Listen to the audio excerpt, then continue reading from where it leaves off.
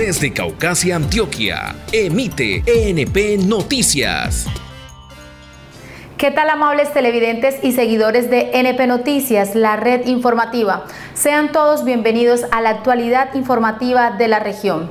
Para dar inicio los invitamos a conocer nuestros titulares.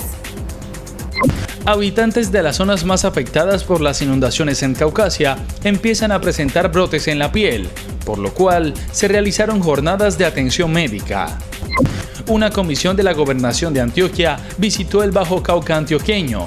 En Nechí, alcalde municipal expuso sus preocupaciones ante los funcionarios departamentales comunidad indígena del municipio de El Bagre recibió dotación de una máquina para el procesamiento de arroz. Habitantes aseguran que de esta forma se hará más fácil el proceso de producción. Se desarrolla en el municipio de Montelíbano la limpieza de varios tramos del Caño Burgos. Con esta estrategia buscan evitar inundaciones a causa del taponamiento de estos canales.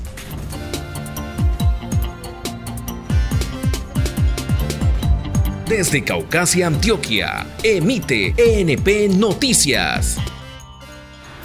Después de más de 15 días de inundaciones en el municipio de Caucasia, ya empezaron a presentarse los primeros brotes en la piel. Los niños y adultos mayores son los más afectados. Autoridades realizan brigadas de salud para contrarrestar las enfermedades. A todos los damnificados que están enfermos María Pérez, quien lleva en el agua más de 10 días debido a que su casa se encuentra inundada, asistió a la brigada de salud porque presenta dolor en la planta de los pies y rasquiña en su cuerpo. Como ella, decenas de personas presentan la misma condición. Tengo sabañón, como que hongo del agua, porque tengo 11 días de estar inundada.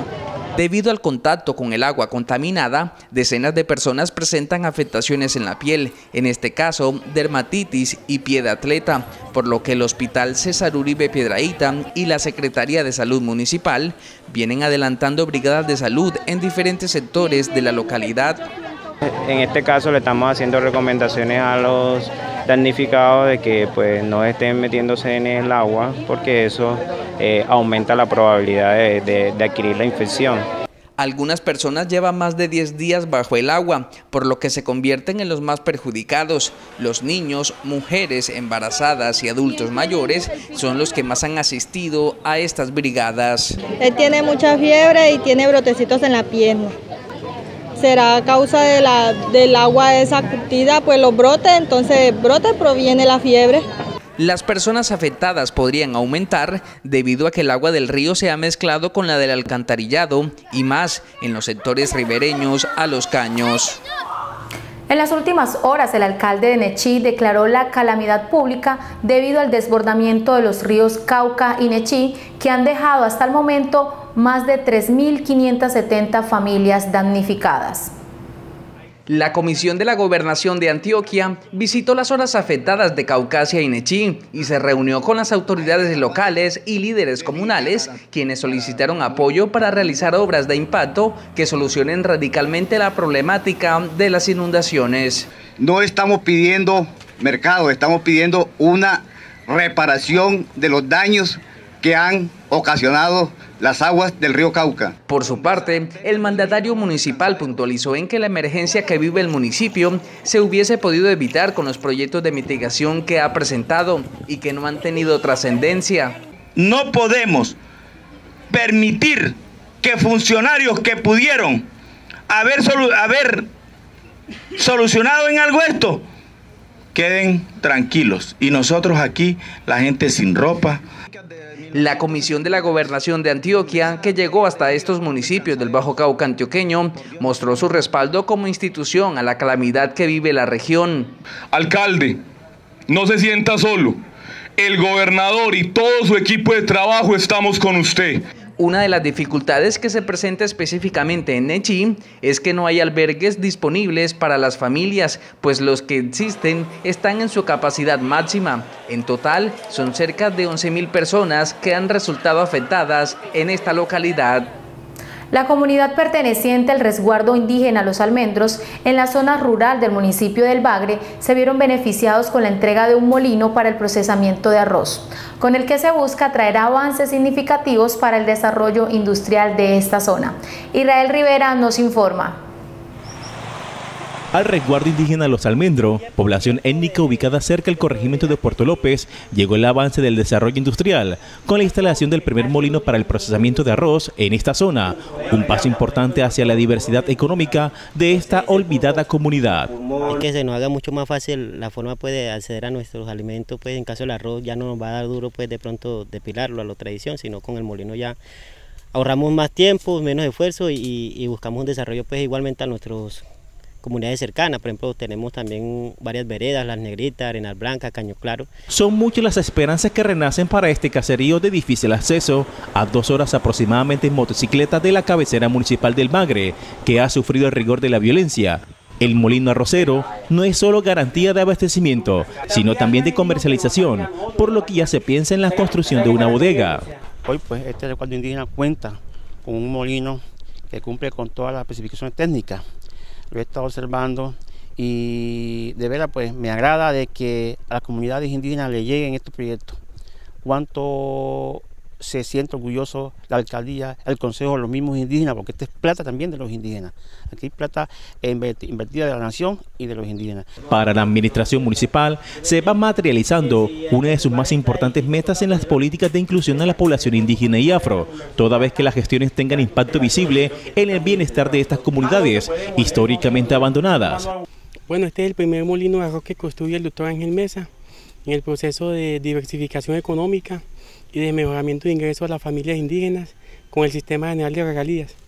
Este es un molino que cumple con todas las partes de simoresistencia y de toda la parte de calidad en, la calidad del arroz.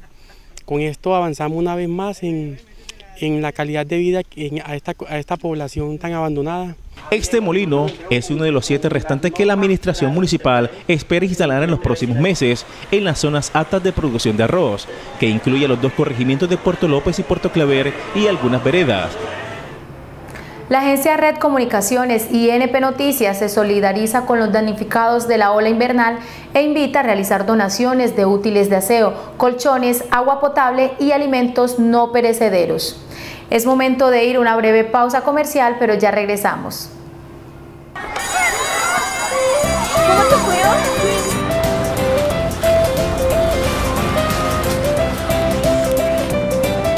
Uy, cuidado.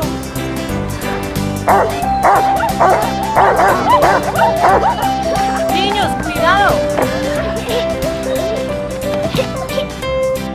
Para algunos niños y niñas, el mayor peligro está en su casa. La familia debe protegernos. Por eso, si en tu casa son violentos contigo, llama a la línea gratuita nacional 018000 91 Por las buenas sí aprendo. ICBF, todos por un nuevo país. Sígame para esto mil pesitos hermosa y bella dama, pero es por dos mil. Aprovecha la promoción. Mega Televisión Stream, muy buenas tardes. Claro que sí, tenemos un paquete de 20 canales que lo llevarán directo al Mundial. Otro paquete de 125 canales perfectos para la diversión de su familia. No apoye el delito, no compre televisión pirata. Nadie le asegura el servicio, la calidad ni el respaldo de la televisión legal. Si tiene dudas sobre su operador de televisión, consulte en www.antv.gov.co. Un mensaje de la Autoridad Nacional de Televisión.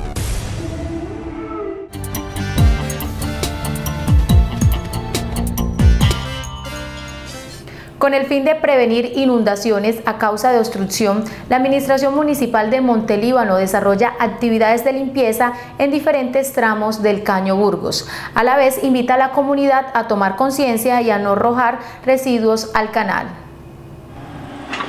Las labores de limpieza de caños en los puntos más críticos del municipio iniciaron luego de un diagnóstico realizado por Planeación y la Oficina de Gestión de Riesgo y Desastres, con la que se busca prevenir inundaciones en las viviendas cercanas al caño.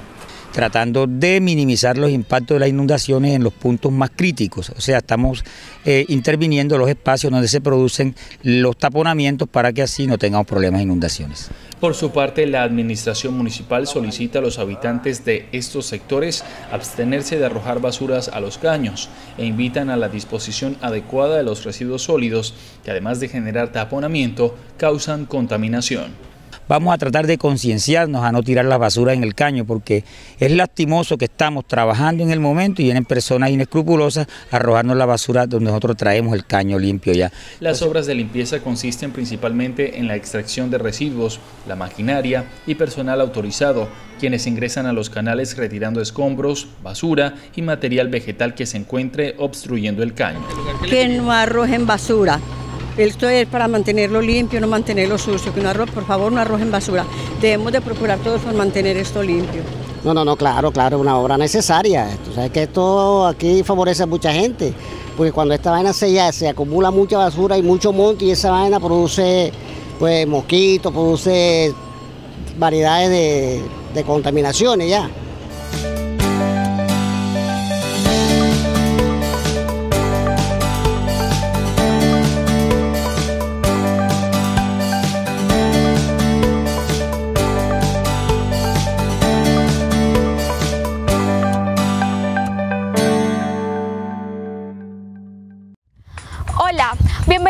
Región Positiva. En este espacio les contamos las cosas buenas que pasan en la región del Nudo de Paranillo.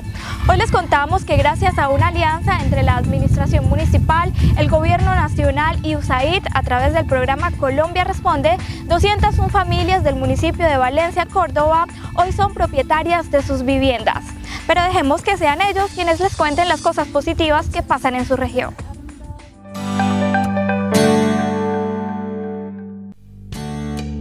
Este momento estamos contando con uno de los mejores proyectos que han venido aquí a nuestro municipio de Valencia.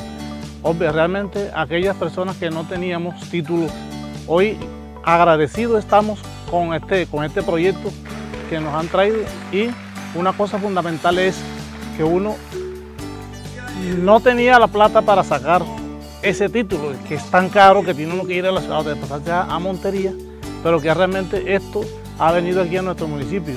Hoy muy agradecidos estamos con esto y que realmente todas las cosas se nos van a, permitir más, más fácil, más suave para hacer los, trámites con este, con este título. Bueno, yo me siento muy contenta con este nuevo proyecto de habernos sacado el alcalde los, los títulos de este municipio que nosotros los valencianos nos encontramos muy contentos. Igualmente yo tenía 39 años que tenía mi casa y yo no tenía este título porque económicamente no tenía, no tenía platica y eso nos costaba una plata y el alcalde de nuestro pueblo nos hizo ese proyecto y hoy en día la mayoría de todos los valencianos tenemos ese título, agradeciéndole a la alcaldía de Valencia. Y a Colombia responde, queremos que todo este proyecto se siga haciendo para que todos los valencianos tengamos título, porque hoy en día uno con un título uno va y hace un préstamo y la casa responde, ¿por qué? Porque es propiedad de nosotros mismos, lo que anteriormente no podíamos. El proceso de titulación de tierras se inició en el año 2015, gracias al apoyo de Colombia Responde, USAID, la Superintendencia de Notariado y Registro y la Alcaldía Municipal.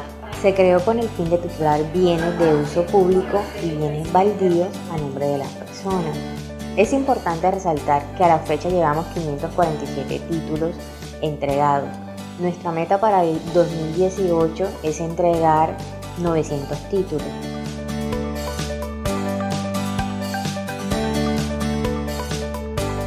Hemos estado acá trabajando por muchos años y el proceso de entregar títulos a los millones de colombianos que todavía no tienen es trabajo súper importante para el futuro del país. Entonces, usted va a seguir apoyando este, esta línea de trabajo y estoy muy, muy feliz de estar acá hoy.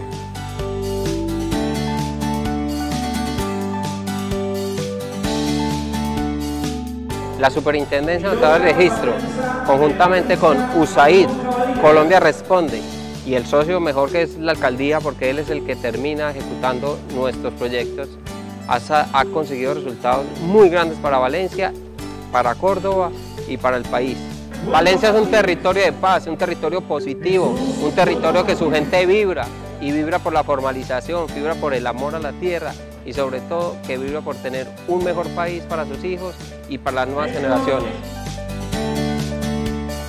En esta tarde nos está acompañando el superintendente, el doctor Jairo.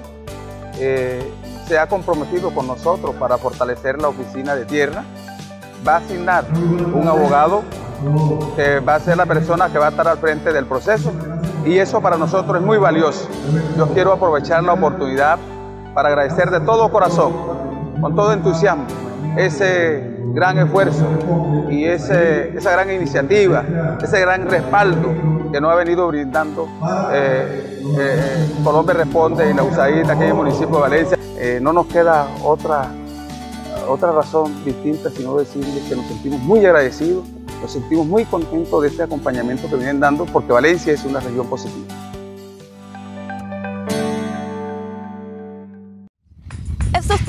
Para estas familias significan tranquilidad y seguridad en sus vidas. Recuerden que los actores son todos ustedes, las personas que con sus buenas acciones le están cambiando la cara a la región del nudo de Paramillo. Yo soy Lucy Quiñones y nos vemos en una próxima emisión.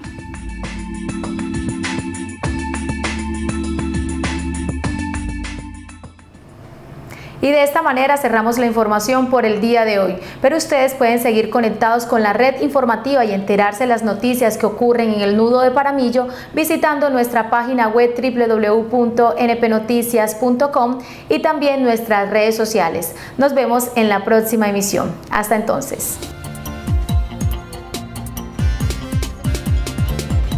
Desde Caucasia, Antioquia, emite ENP Noticias.